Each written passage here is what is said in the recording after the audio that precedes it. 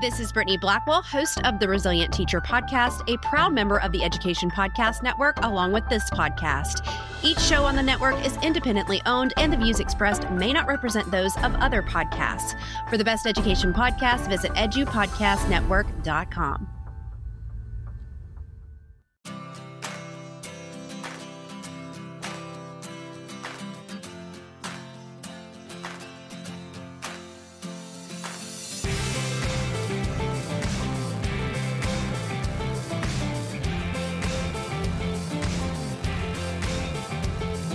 Thanks for listening to the Tech Tools for Teachers podcast, where each week we talk about a free piece or two of technology that you can use in your classroom. I'm your host, Shanna Martin. I'm a middle school teacher, and technology instructional coach for my district. And I am her producer and husband, Fuzz Martin, and I bring the beakers to your speakers this week on the Tech Tools for Teachers podcast.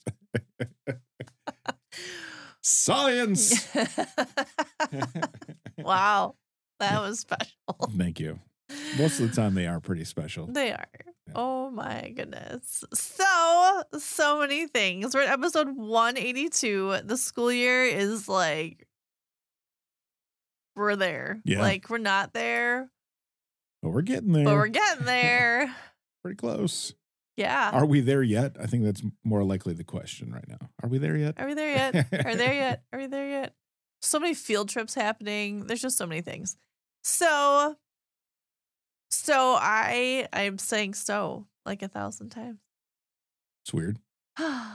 so there's one of our science teachers at my school recommended this site and used it all the time. And I noticed it in her classroom and I was like, what is that on your board that looks really cool? And she's like, it's this really cool free resource to use. I'm like, ooh, free resource. Tell me more. Tell me more. and so it's cool. So the whole thing is based on the Concord Consortium is like collected all of these cool STEM and science resources. As a teacher, everything is offered for free. It's Wow. free. It is so cool. Great. So you sign and you register as a teacher. And you say, I'm a teacher. I'm and then not. you just have to put in there where you're from. Like it'll ask you like what school you're from and district and things like that. You have to like be a part of a district or have a connection to a school. And then once you do, everything's available to you. And you can create a you can create classrooms where you load your students in. And then you choose the curriculum that you want to teach. And there's so many cool collections and resources.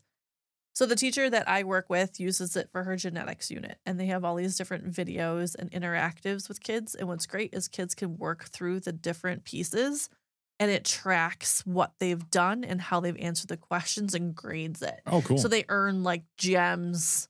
And then, like this kid, if they earn like four gems, it means that they got so many right. So they can work independently. Yeah. And you can teach it like it's a whole curriculum. So you can teach it as a teacher. And then there's all these different supplements that go with it.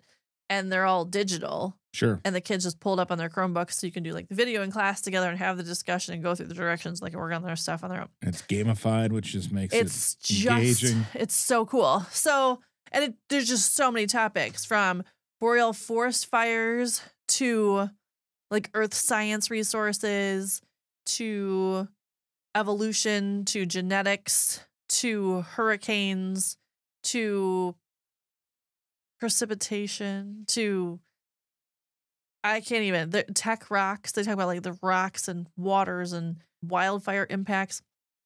So you can choose like a collection. So I just picked wildfire risk and impact. It'll tell you like you can choose the 5 8.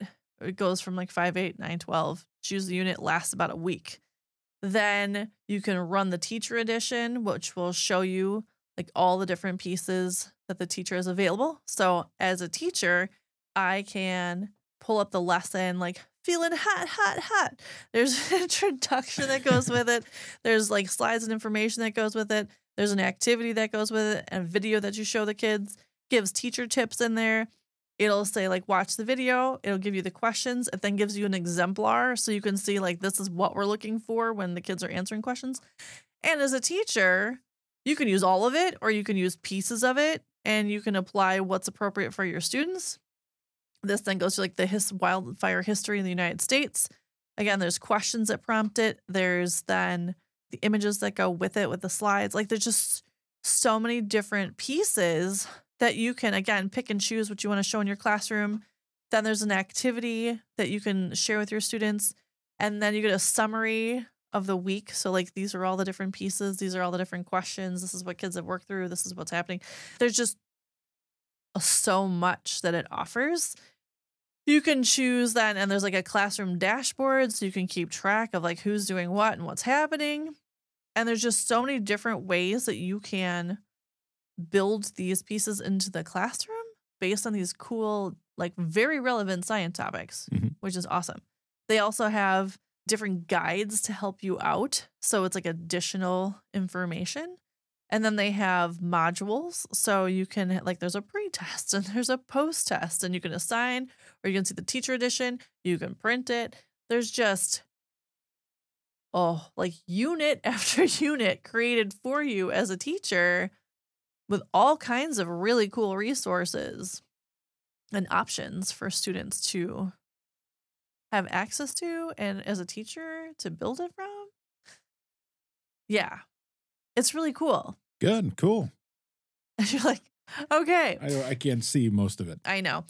Because you have to be a teacher to be as cool as all the other teachers are. So, for an example, like if I am in the middle of Earth and space, you can also search by activity. So, you can do like an air pollution model, you can do seismic hazards risk, you can do assessing volcanic hazards, you can do how do we feed a growing population. And then again, it'll give you the assignments that go. So, like, you can choose by collection, you can choose by topic, you can choose by all of these different things. And it's just a really cool resource for teachers. And it's free. And it's free. Like, everything is free about it. That's great. Yeah, how do they make this all so free? That's a great question. They love Uh, teachers, obviously. yeah.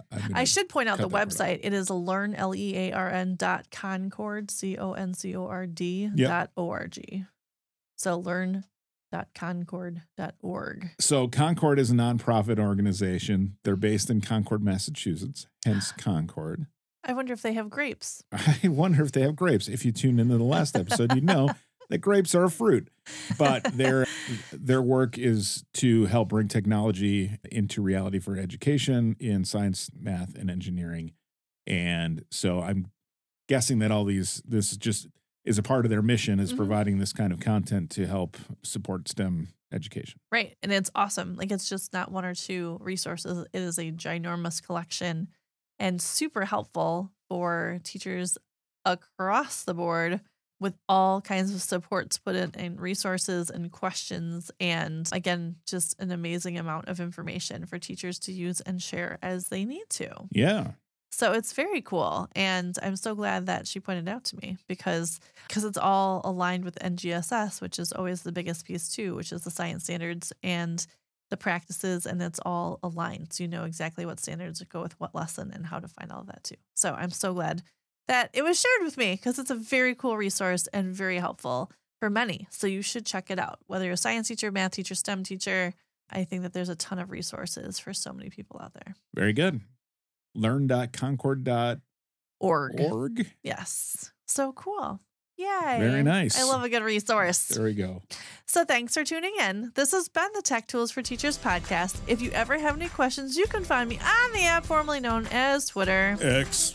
at SmartinWI or on Threads. And if you want to get more information on the links to the technology discussed in this episode, you can visit smartinwi.com. If you'd like to support the show, please consider buying me a coffee or two. Visit buymeacoffee.com slash smartinwi or visit smartinwi.com and click on that cute little purple coffee cup. Your donations help keep this show going. New episodes each week. Thanks for listening. Go educate and innovate. The ideas and opinions expressed in this podcast and the SmartinWI website are those of the author Shanna Martin and not of her employer. Prior to using any of the technologies discussed on this podcast, please consult with your employer regulations. This podcast offers absolutely no guarantee that these tools will work for you as described, but we hope they do. That's why we do this show. And we'll talk to you next time, right here on the Tech Tools for Teachers podcast.